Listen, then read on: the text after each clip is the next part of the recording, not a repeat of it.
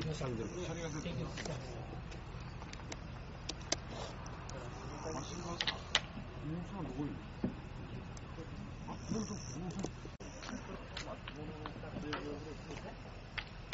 好的。好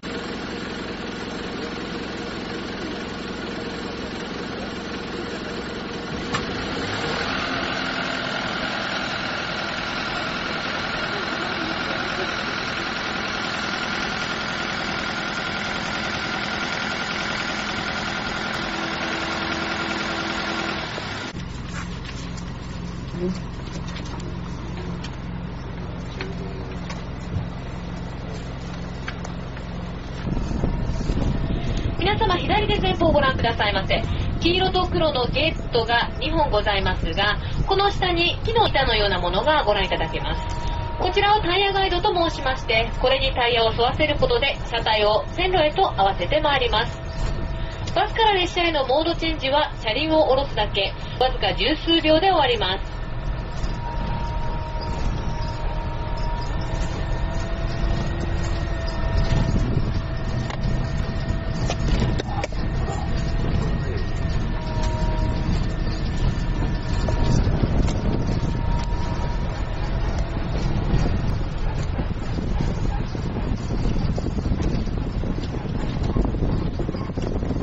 それではこれよりゲートに近づいてまいりまして手前のゲートが開いてまいります。これより車体を線路へと合わせてまいりますがここまではバス運転士の作業になります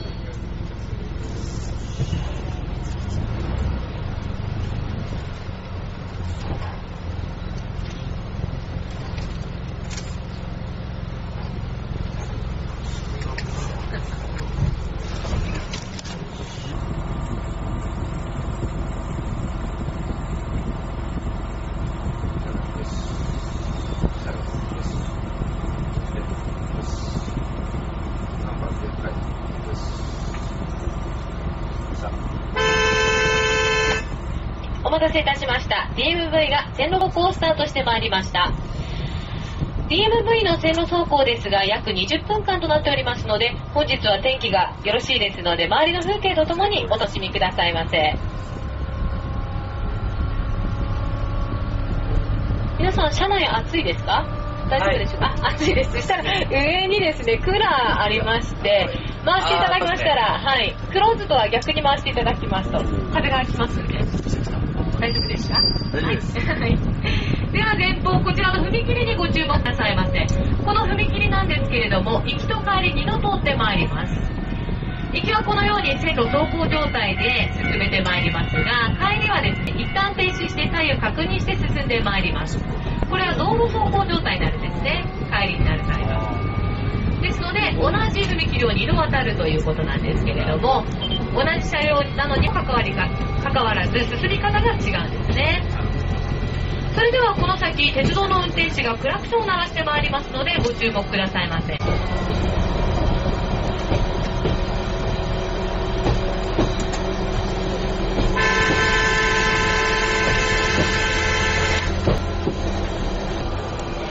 それでは皆さん、右手前方、緑色の屋根の建物、こちらが京成関営駅です。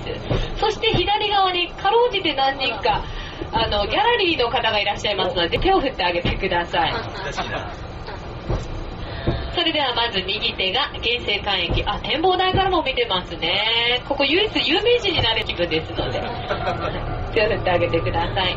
シンボルにご注目ください。先ほどから鉄道の運転士握っているだけで一切動かしていないことにお気づきでしょうかこれ線路上ではほとんどハンドルは使っておりませんで動かしていないですね。全て固定されているわけでございますあります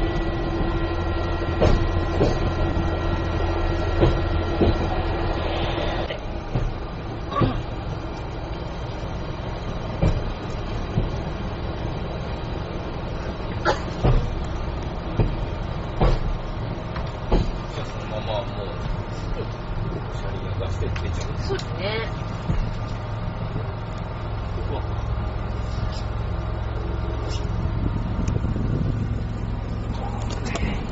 それでは車体がぐっと下がってまいりますのでご覧くださいませ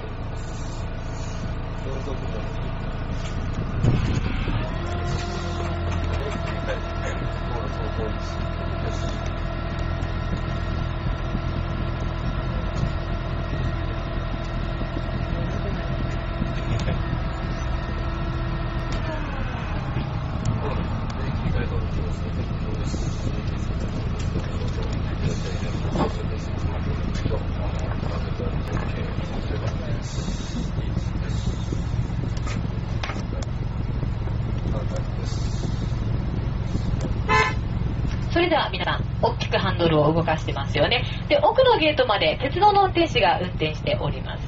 通常この区間なんですがまあ見た感じ道路になってますのでねあの先ほどの線路上で運転士交代するんじゃないんですかって聞かれるんですけれども実際には左側に鉄道の標識があるんです。ここまでは唯一線路の扱いになる部分ですので鉄道の運転士が運転しているわけでございます。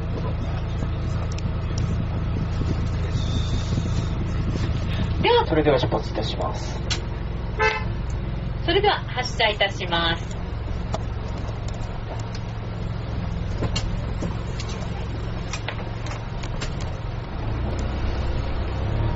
では皆様右手前方に見えております駅が元駅でございます